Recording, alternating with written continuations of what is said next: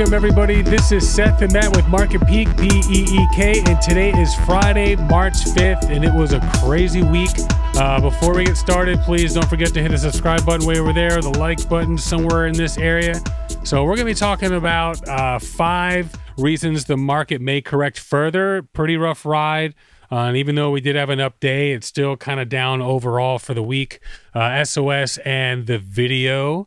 Uh, and then, you know, the crazy market. We're going to talk about that as well. And of course, Matt's going to have his three charts. Matt, what's up? How's it going out there? What's going on, buddy? All good? Yeah, man. Awesome. How you doing? I'm doing Hey, okay. how, how was your week? It was good, man. It was good. It was, uh, I got more sleep this week, I got to say. The beginning of the week, I was just so glued to everything going on. But towards the end of the week, I caught up on some sleep. It was awesome. Today, I think I slept like 10 hours. That is for All right. sure. Mm, for sure. Uh, all right. So before we get started, we are not financial advisors. This is just our opinion. We, you know, obviously do your own research, your own due diligence, consult your professional uh, if you're so inclined. Uh, and then, of course, please leave us a comment with your thoughts. You know, whether you loved it, you hated it, if you disagree, if you agree, whatever. So, all right, let's go into the moves we made.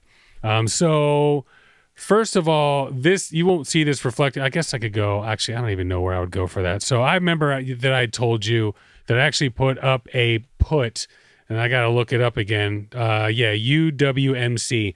So this was a stock that was being touted. I think it was like Tuesday or Wednesday in the evening. They're like, okay, this is the one we're gonna do.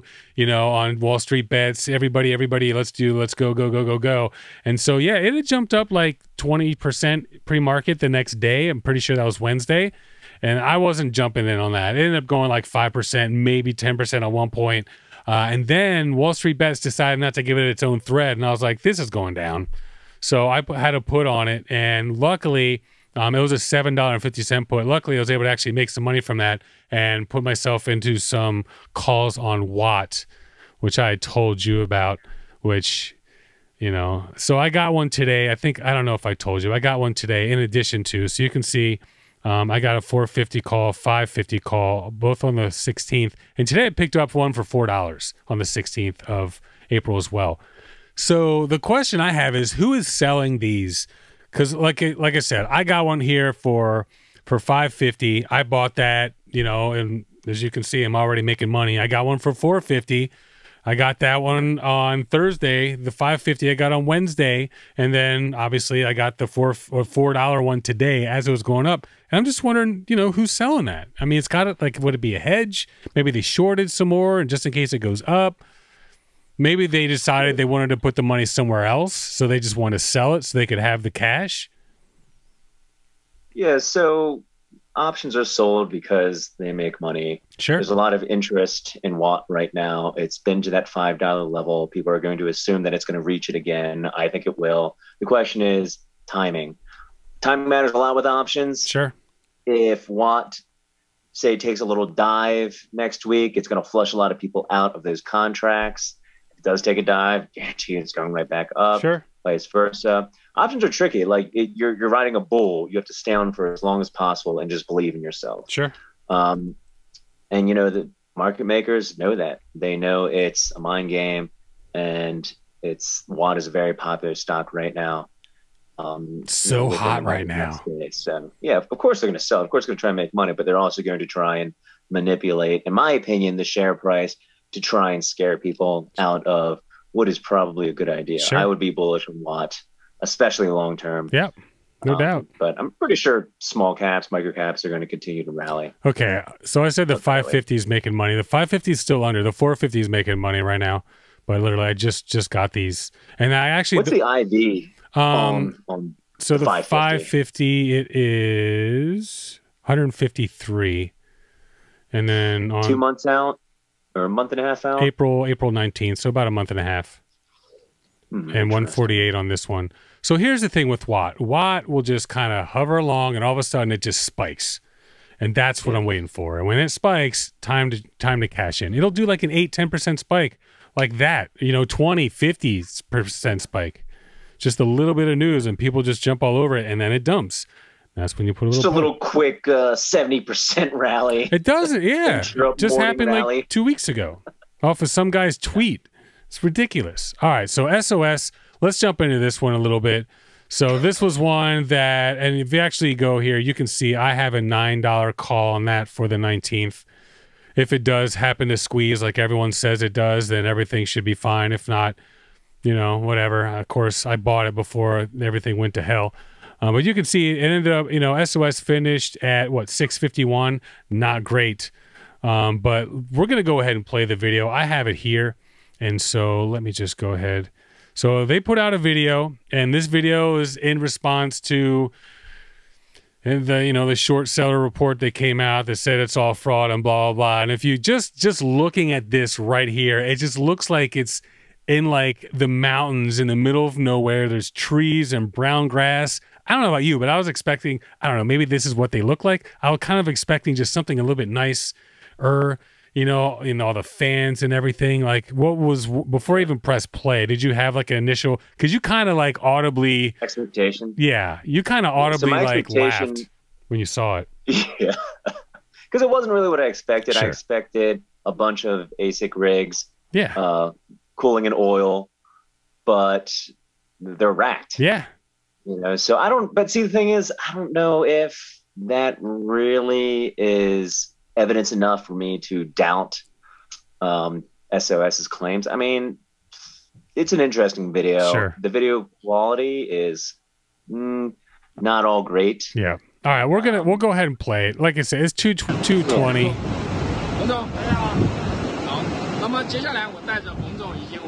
So first of all, you can see all the fans. You see that sign that just looks so brand new, and then they walk you over. I guess these are big transformers or whatever.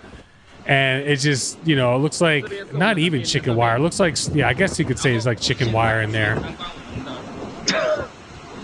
But this i mean i don't know. The sign looks pretty fresh you know just being honest.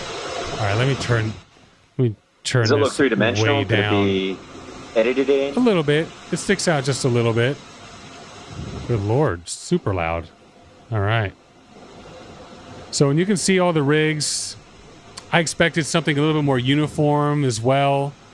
Uh, but that noise is what you definitely expect. A lot of that is the fans in there. But you can see it's just racks and racks. And then they walk into another building. Exact same thing. The door looks like it was kicked in. You can see at the bottom it's missing a doorknob as well. Like, I don't, that's just kind of weird to me, but I guess. Maybe they just don't do doorknobs over there. Maybe. That would be pretty funny. Yeah, we don't do doorknobs. All right, here's another one. You can see the door looks. Over you can see it was definitely bent. Also missing a doorknob. So, yeah. you know, we can stop it there. It's just like I'm not really sure if it really leads me to believe that it's it's it's real or fake. I mean, obviously that is real. Yeah. Um, but I don't know if the impression that that video portrays is enough to get it to where people thought it was going to go. But I feel like there's enough people that would look at that and think, okay, you know, we're the underdogs. I mean, look at this facility. Look where they're starting. What are they going to become someday? I want to jump on that bandwagon too. So I could see it. I could see it going either way. That's for sure. Yeah. Yeah. All right. The fact that people are so focused on this video makes me think that there's tremendous interest in the trade. Sure. and that we're going to get some sort of short squeeze. Sure. Question is again timing. I mean, it kind of it kind of rebounded a little bit. It's actually interestingly enough, it's right at the support line if you look at it. So right at, at six six fifty one. Um, might be worth it actually to buy a freaking call for you know seven seven fifty like I did last time what do, what do you really think about this video? Like, are you really? I think this video is enough to quell people uh, enough to believe. Okay, here's the video. It's not as glamorous yeah. as we thought it was going to be, but at the at the very least, you know, it's a video that that proves that they have the rigs, that they're functional. I just, how do you have all that stuff there and there's no locks on the doors and the doors are all busted in and everything? That's what I can't it's just it's, it's weird. Are they in a compound? Like, is it you know it, it, like on a? I mean, it's not on a roof somewhere. It's just weird. That's what I can't. So it's just I don't know. Like I, before, you know, I really thought there's a good chance this could go up, and now not 100 percent sure, but it did rise. There's still people that believe in it, so we'll see what happens. What about you? Okay. I don't think it matters whether or not people believe the company is real. if you can make money on it, Sure. That's true. it's game. And my, my guess is people that really believe in SOS are gonna be like, oh, the video's fine. The people that don't are like, that video's crap. Next. So I don't think it swayed anybody. I feel like, you know, the video just divided the line even further, in my opinion. So all right. So moving into to Rocket, RKT. This is Rocket Mortgage. Um, they own Quicken Loans, right? So they had a really good beginning of the week. They went from around 24 bucks, shot all the way up into the 40s. Uh, and they've since settled back down. People are talking about a short squeeze. The CEO basically told the short shorters to bring it. Uh, Bring it he's got a March 9th dividend of a dollar and 11 cents being paid out to everybody. And they said they're going to do a billion dollar buyback just to squeeze out the shorters. And people have been rallying behind it. And that's where a lot of that came from. So we'll hmm. see, we'll see what happens. Why a dollar eleven? That's just such a weird number. I wonder if there's any significance to that. Yeah, a dollar eleven. They've announced a date, so there's an expectation Sure. of a move higher or lower, uh, which tells me that the premium on those options might be high at this point. Sure. I just Um, bought the shares. I'm not could gonna. go higher. Yeah, it's too much options. Forget it. Yeah, it's like playing um, earnings, right? You buy in a week before earnings, and you profit off the premium increase. Hope hoping that the earnings do well. Of course, Yeah, it's not always not always rainbows and unicorns out there, folks. I mean, crypto is a hot space right now. True. It'll probably be. So, what do you think, Rocket Mortgage? Do you think so? It started the week once again. It started the week. Actually, it started about you know, 22 bucks, and then a high of like 43. That was at the end of Tuesday, and it settled at 24.96. What do you what do you see moving forward for? We covered this already, so what do you think's going to happen next week? Yeah, I mean, I, I think it's going to depend on where the 30 year goes, 30 year mortgage. Rates start going up. That might put a damper on the housing market. But then again, there's so much of a speculative, you know, fervor out there for small caps. It might not matter. Sure. Fundamentals, again, might not matter in this case. If there's a trade, you can make money on it. Someone's going to be interested. Sure. And someone's going to be on the other side. So they are out of uh they're actually 2.8 2.9 billion so they are out of small cap. Moving on to the next one, you, you, you, you. I actually bought uh like 200 shares of that today.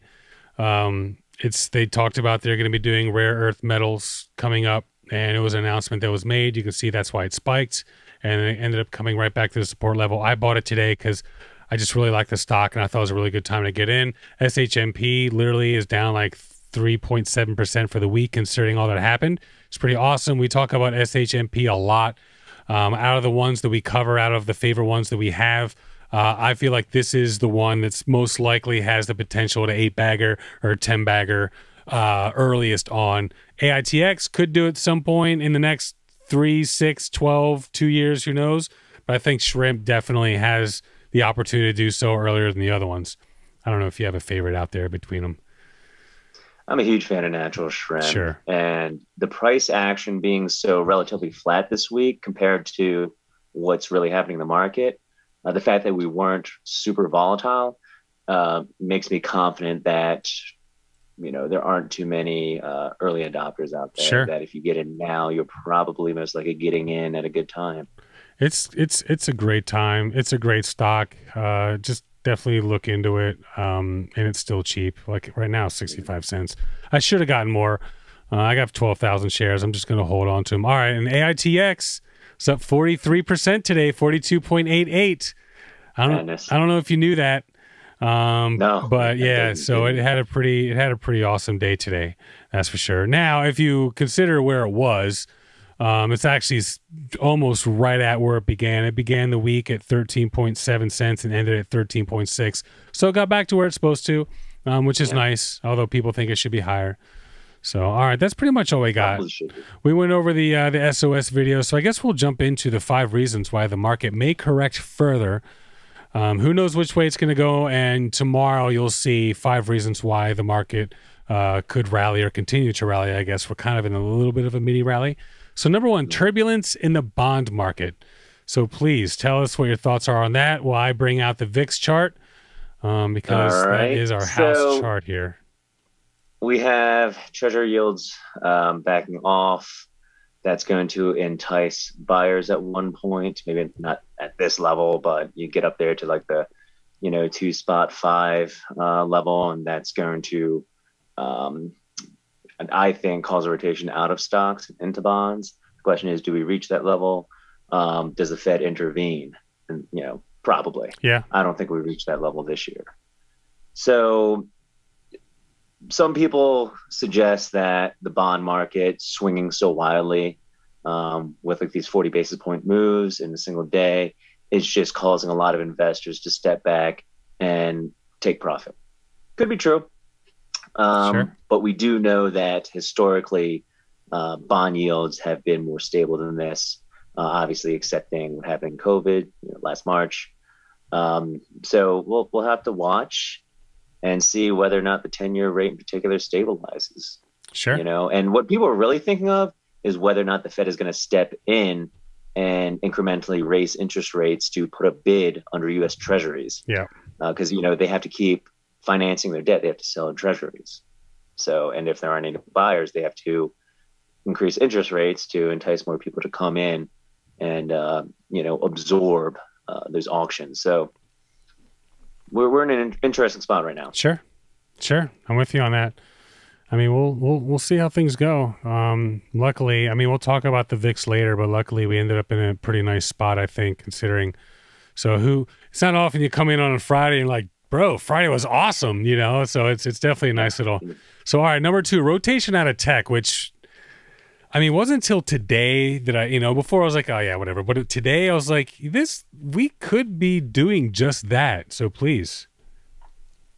Yeah, so you got to think about where the money wants to head.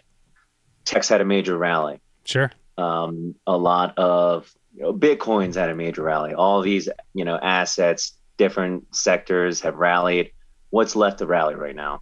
Energy, particularly small cap Oil, energy for companies, sure. oil companies. Exactly. Look at the price per barrel; it's rallying right now. And small banks Sure. interest rates go up, that's good for banks. That's probably a good place to be. Um, some people might take a look at some of their uh, tech shares, Apple, Amazon, whatnot, and say, all right, you know, I'm just going to pull a little bit out, put this into energy, put this into small caps where I might get more yield. You, you, you, you. Yeah, exactly. Exactly. For sure.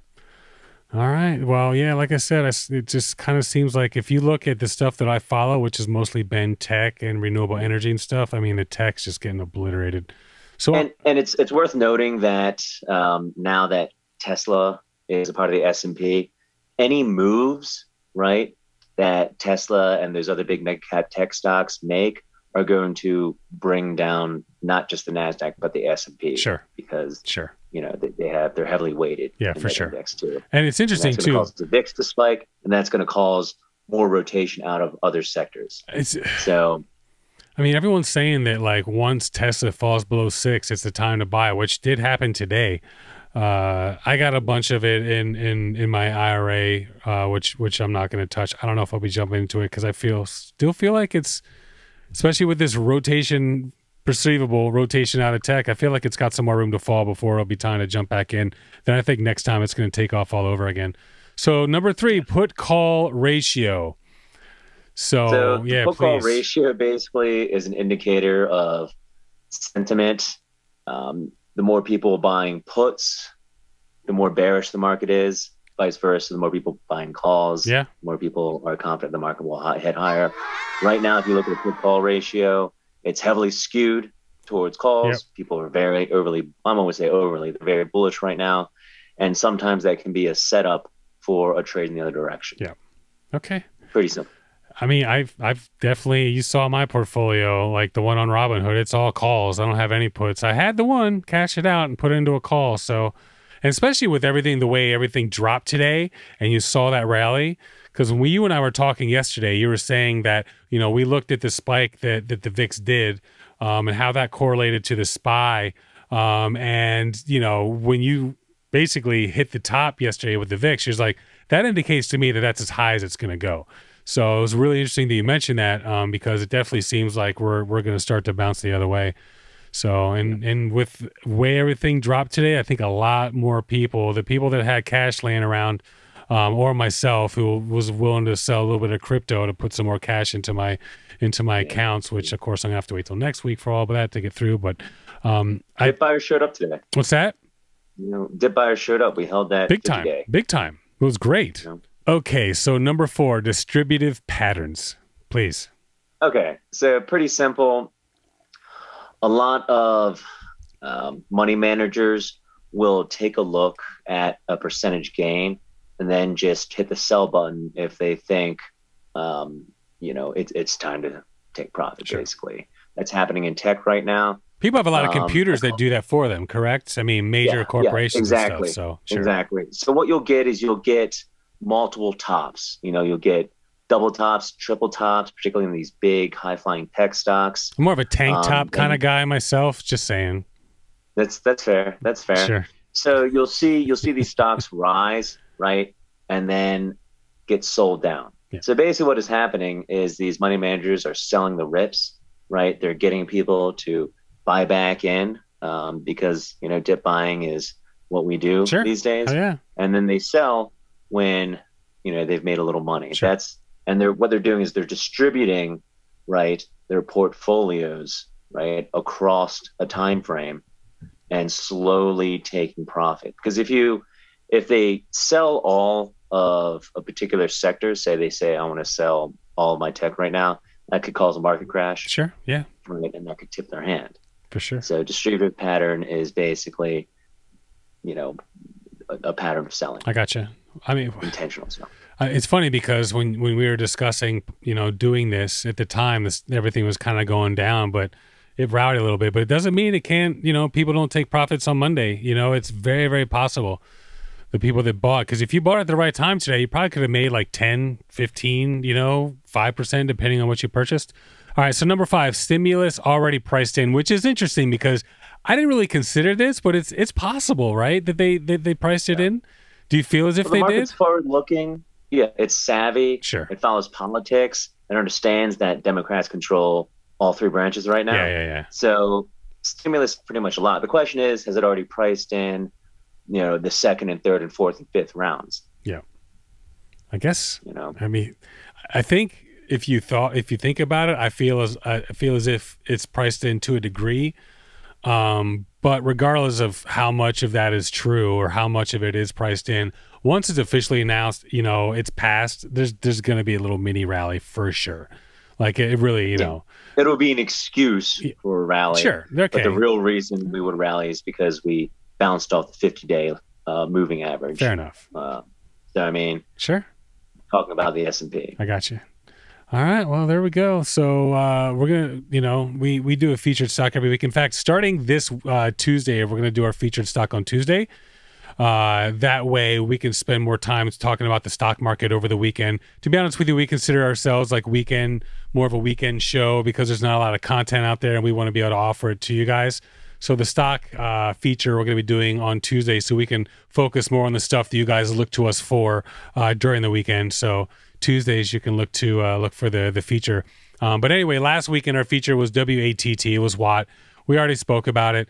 Um, if we look at the five day here, in fact, let me get out the candles because we always want to see, you know, how how did the uh, the our super pick do this week? And it wasn't great, to be honest with you.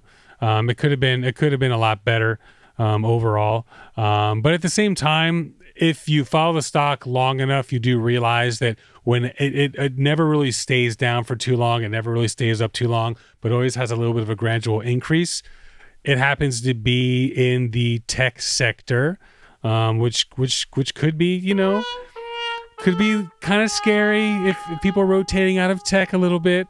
Uh, but at the same time, it's one of the ones I really believe in. They got a great track record. I'm not, you know, I'm a little bummed that, that it went down.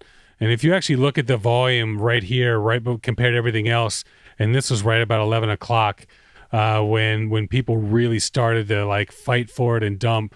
Uh, and you could see the the sellers finally ended up winning. But after that, it was just a gradual increase. So I'm I'm still long on it. I still am a huge fan of it. Um, Matthew has as a bright well. future. It has a very well, yeah right. very very bright yeah. future. If there, the fact that there's a rumor out of a potential partnership with one of the biggest companies in the world leads me to believe that it's true. You know, maybe a, a call option might not be a bad idea. And that's why I got a four dollar call, five a four fifty call, and a five dollar call. And this little spike or this big spike that happened right here. So as you can see, this was uh, you know this was before uh, before the bell, and then all of a sudden it exploded. That was because somebody happened to tweet something about Apple and and WATT and Energous, and people were like, "Oh my God, here we go." So I'm just gonna, like I said, I'm gonna wait for the next spike, and whenever it happens, I'll be ready, and I'll be ready to cash out, and should happen sometime in the next month. That's for sure. Yeah, the thing I want is that it's got good fundamentals, yep. and it's a hot small cap stock. Yeah, big time. So I mean, a lot of people know about it. Win-win. That's for sure. Yeah. A lot of people are excited about it. Radio frequency charging, for those of you who haven't been following, literally just put your phone down or put your device down, and it'll it'll charge it through the air. You don't have to have a pad or anything using radio waves, which are around us anyway. That's the most amazing part. It's not using some like new invented technology. It's just repurposing a technology that already exists, except for they have the, you know, they got some amazing patents on it. And that's a lot of times when it spikes. They're like, okay, we got an awesome patent. Here's a new one. Do, do, do, do. Yeah. Yeah. You don't even have to feel bad about buying watts. No, especially like, now. I would feel bad about buying GameStop. Sure. But I wouldn't feel bad about buying Watt. If you look at Watt, I'll pull out the three month. If you can, if you look at it, it's been pretty steady. You know, around the three dollar, all the way back to what is this?